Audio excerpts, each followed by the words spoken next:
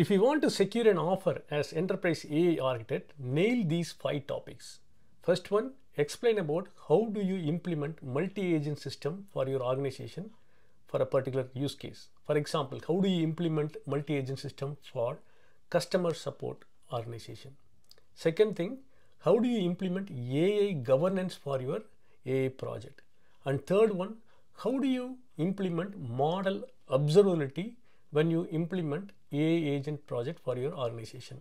And fourth one, how do you implement MLOps pipeline for your end-to-end AI agent project?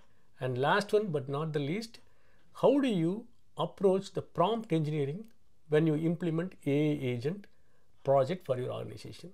If you get to know about all these five areas well, definitely you can secure an AI architect offer in your career. Make sure that you nail all these topics. All the best.